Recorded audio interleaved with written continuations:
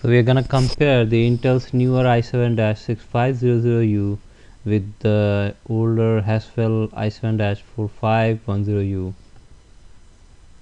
Both of them come with the same amount of cache memory and these are low power dual core processors with 15 watt rating suited for ultra notebooks and thin notebooks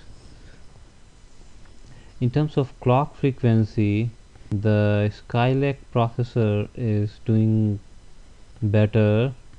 We have uh, 2.5 gigahertz versus 2 gigahertz clock frequency. Even though the turbo clock frequency is the same so we can expect Skylake to be doing slightly better than the Haswell. So take a look at the benchmark in a while but let's take a look at another thing. The Skylake also comes with the DDR4 that has same performance now as the DDR3 but it works at lower uh, 1.2 volt and that gives you some saving in the notebook power performance. HD graphics it improves from 4 to 4400 to HD graphics 520 slight increase in the performance Uh, let's take a look at the benchmark score.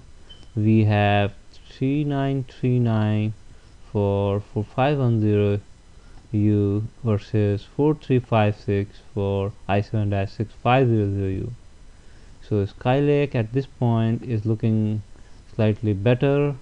And if you have a choice and if your notebooks are priced similarly you may like to go with the Skylake one Intel itself has kept the launch prices same for 4510U and 6500U and given the fact that they bumped up the clock frequency while kept the price same that's a good sign for customers.